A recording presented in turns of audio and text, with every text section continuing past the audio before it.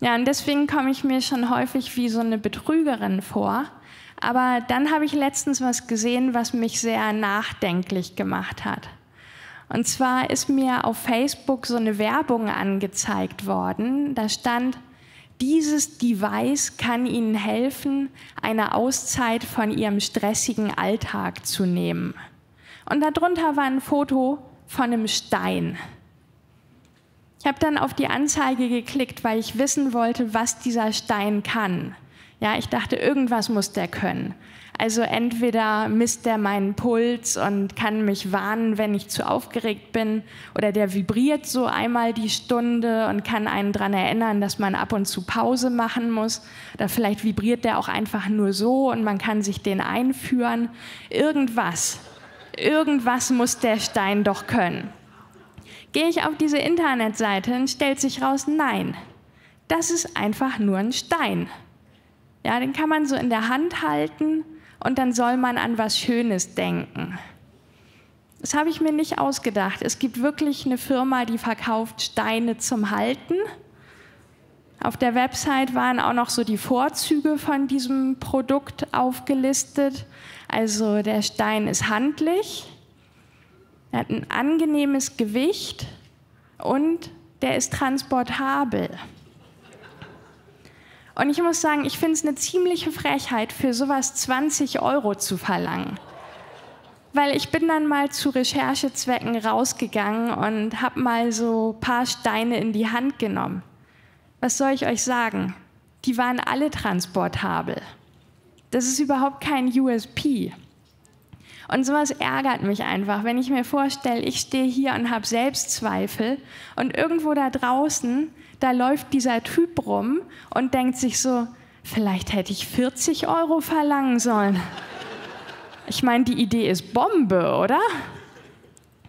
Ja, apropos Sachen, die nichts können. Meine beste Freundin hat jetzt ein Baby. Und zuerst dachte ich so, boah, gar keinen Bock drauf. Muss man jetzt so tun, als würde man sich dafür interessieren, wie bei anderen Hobbys auch muss immer so Fragen stellen. Was frisst denn so ein Baby? Wie alt werden die? Was wollt ihr mit dem machen, wenn ihr mal in Urlaub fahrt? Aber tatsächlich ist das Baby ziemlich cool.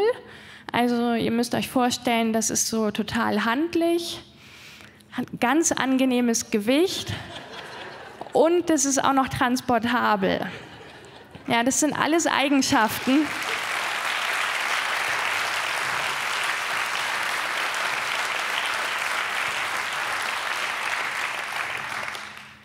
Ja, ich finde, das sind halt alles Eigenschaften, die man ein bisschen mehr wertschätzen sollte, weil Menschen die irgendwann einbüßen, leider. Und das Baby von meiner Freundin, das macht auch häufig so kleine Dinosauriergeräusche. Und ich finde es einfach nur jammerschade, dass Männer sich das irgendwann abgewöhnen. Stellt euch mal vor, wie niedlich das wäre, wenn man so einen Typen anspricht und sagt, hey, ich gehe noch an die Bar, soll ich dir ein Bier mitbringen? Und der sagt so, Baka! Also mir würde da direkt das Herz aufgehen. Fände ich auf jeden Fall sinnvoller als manche Antworten, die ich schon gekriegt habe von Männern. Ich habe ein Spiel erfunden für Babys. Das kann man ganze Nachmittage lang spielen. Und das Spiel heißt Ich esse deine Hand. Die Regeln sind relativ schnell erklärt. Also der eine Mitspieler, der muss auf so einem hohen Stuhl sitzen und muss so machen. Und der andere Mitspieler sagt immer, ich esse deine Hand. Ja, ich muss sagen, das Baby hat weitaus krasser reagiert als ihr. Babys sind echt ein super Publikum. Ich habe mich in dem Moment gefühlt wie die erfolgreichste Entertainerin aller Zeiten. Und das Zauberhafte an Babys ist ja auch, dass sie so wahnsinnig ehrlich sind. Also das Kind von meiner Freundin darf jetzt schon so pürierte Sachen essen, ja, pürierte Kartoffel, pürierte Pastinake. Und ich durfte ihm neulich zum allerersten Mal in seinem Leben pürierten Blumenkohl füttern. Und ich sag so, na, das schmeckt dir, ja? Und der Kleine so,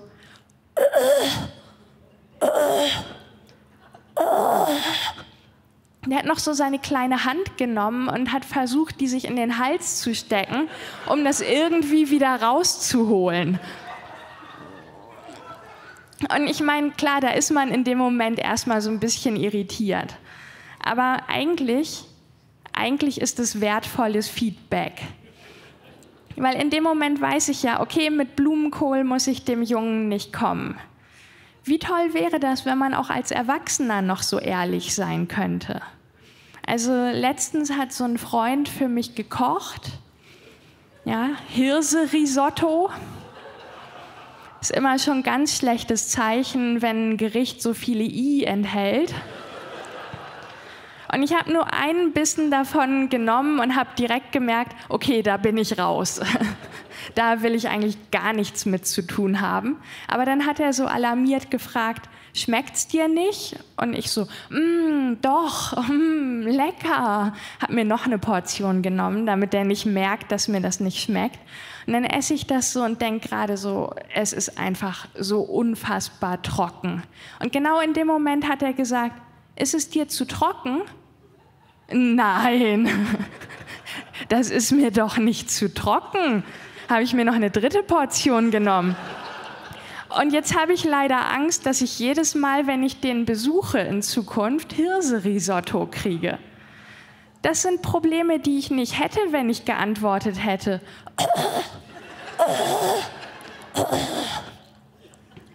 Ja, vorhin wurde ich auch gefragt, ähm, wie findest du die Bühne? Und ich so, toll, sieht aus wie ein Ceranfeld. Ja, ich komme mir echt vor, als würde ich in meiner Küche auftreten.